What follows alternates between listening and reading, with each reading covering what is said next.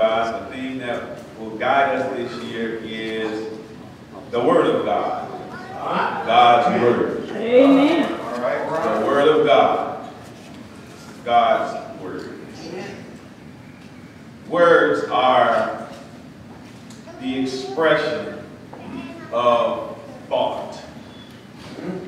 Words have meaning.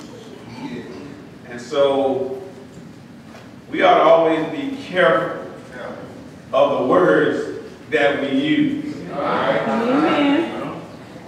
Many a person has has been scarred in life because someone chose to use words that did not build up All right. Uh, but were designed to tear down. Parents, we, we have to be careful how we talk to our children. Amen. Even when they have done things that we told them not to do.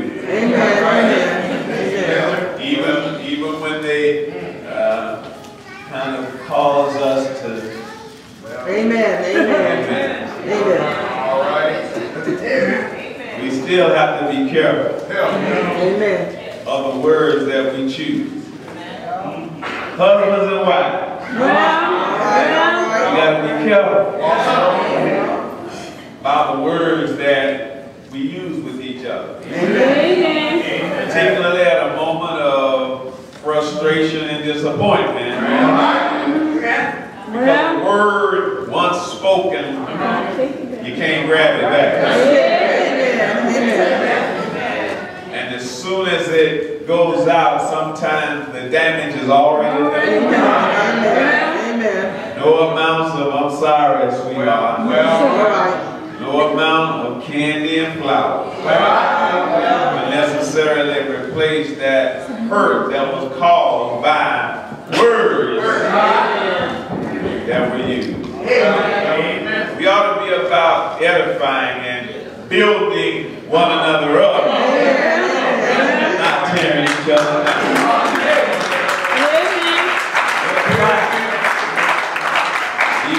come together in corporate worship, yes, sir. as the children of the Lord, we ought to be careful how we talk to each other.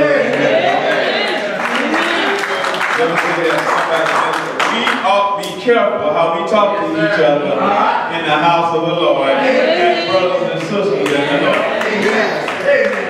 Because it's very easy to fly off the handle Amen. and, and say something that damages someone for days to come. So it behooves all of us to take a moment and pause and consider carefully whether we really want to say that. All right, all right. and, and what would be the anticipated outcome of our speech. You know, we have lived to see a day and time even in our political arena. Folks just lie. I, I didn't want to say it like that. I, I thought about how I could say it without saying it like that. And every time I thought I came up with a way to say it, it just always gets back. Either, either you're telling the truth or, or you're not. And it don't matter how many folk that work for you and around you that after you say something come behind you and say, oh no, he didn't mean it like that. But if you don't mean it like that, don't say it like that. That's what we're doing today. You can't, you can't be a person in leadership and you're going to lead folk and you're going to tell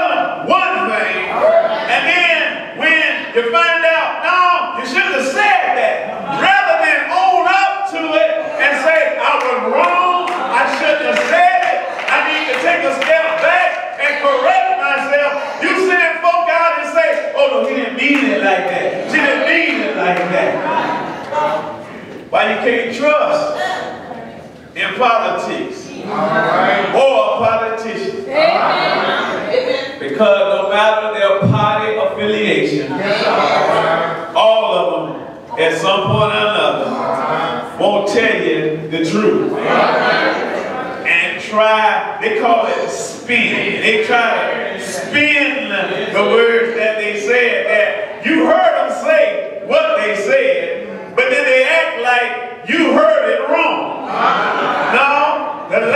has not changed.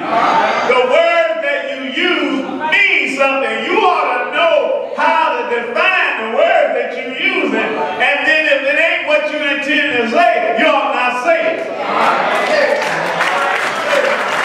Words matter. Because if we're going to be one nation under God, then those who will lead the nation politically need to be told when they are departing from what thus saith the Lord. All right, all right. Hey, that's the job of the preacher. The job of the preacher ain't to be in the hip pocket of the president, the governor, the mayor, or anybody that's elected to a political office. The man of God must stand and declare what thus saith the Lord. Don't care who likes it or not.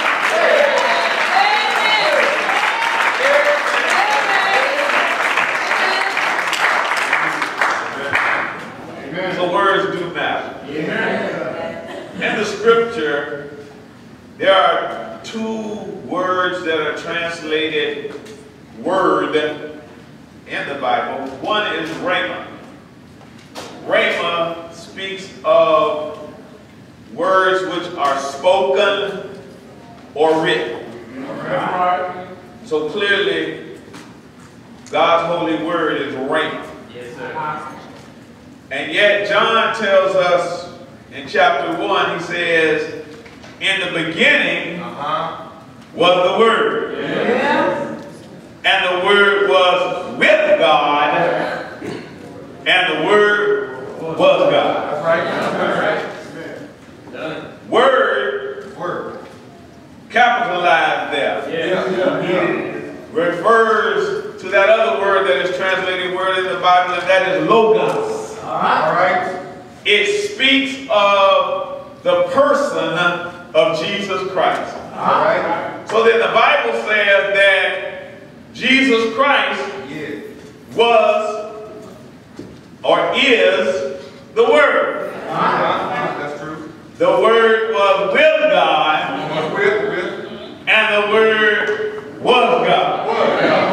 Huh. That verse by itself then separates Christianity From any other world religion. Because there are some religions that will acknowledge that Jesus Christ lived, that he was born into the world.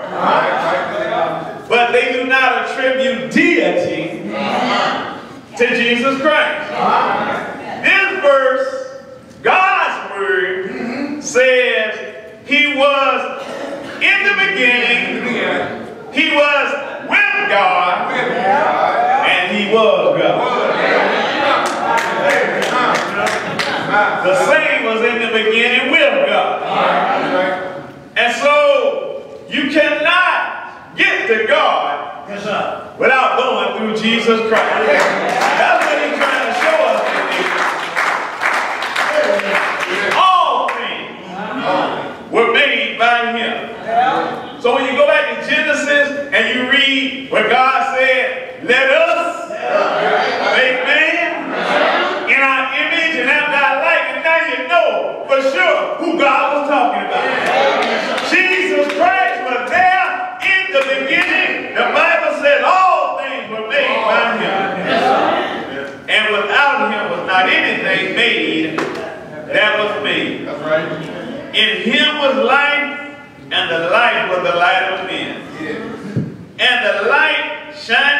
darkness, and the darkness comprehended it not.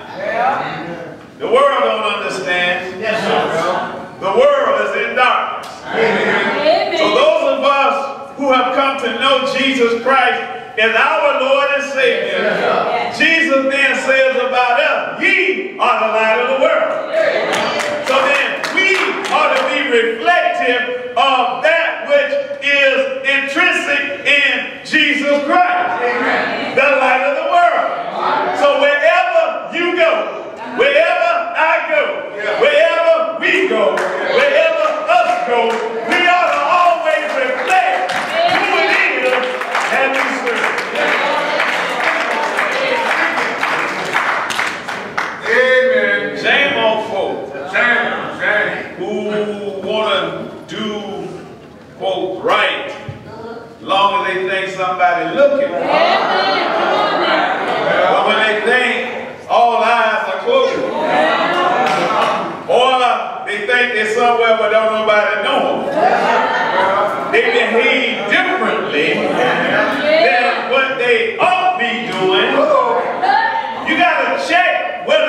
darkness. Yeah.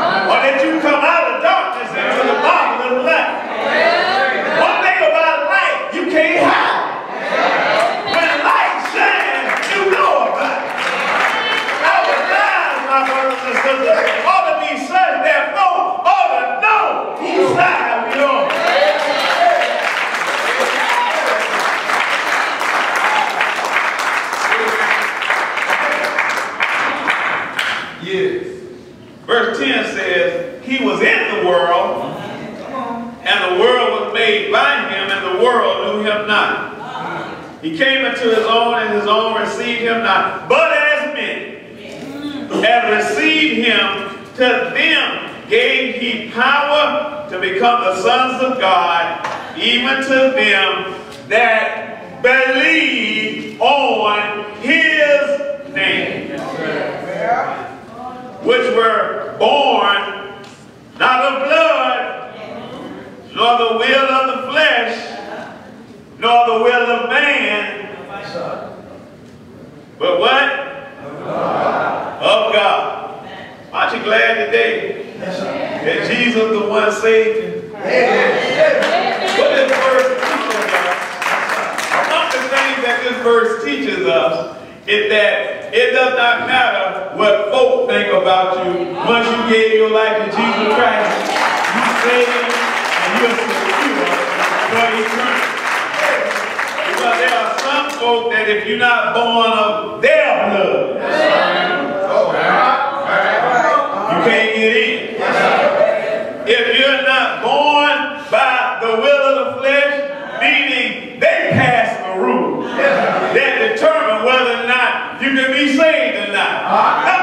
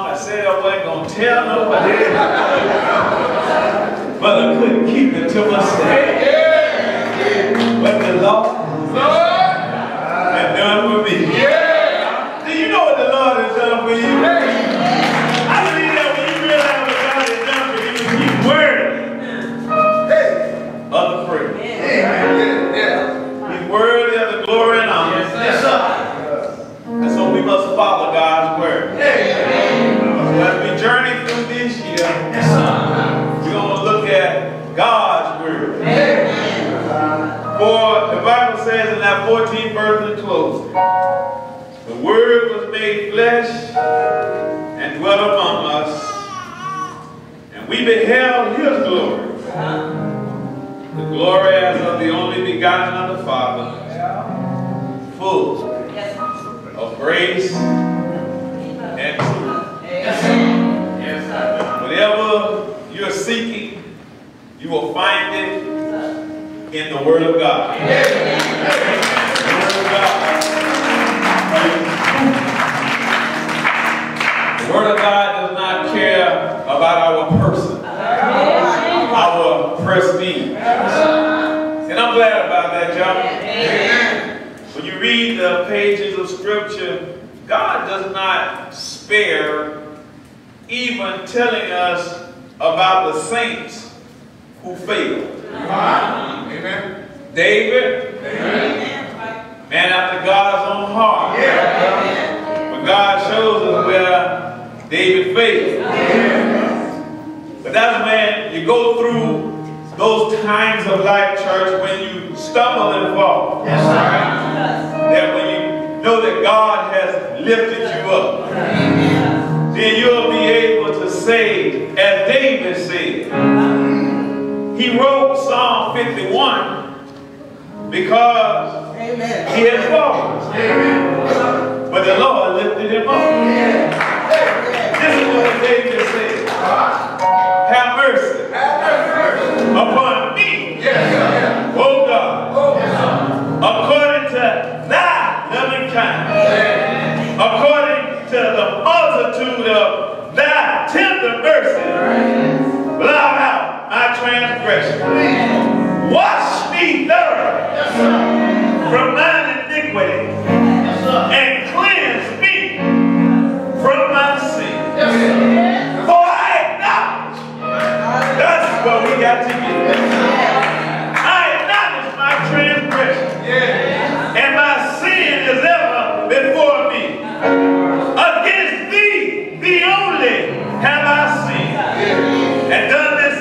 evil in thy sight, that thou mayest be justified when thou speakest and clear when thou, thou judgest. You know, it's on us, y'all.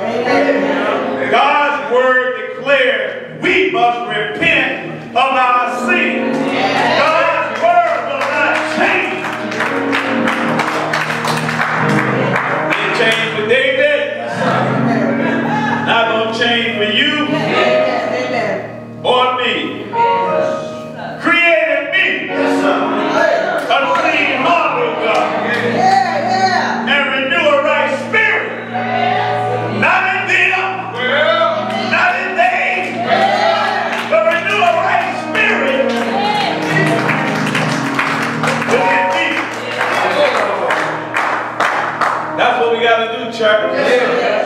Gotta let the Lord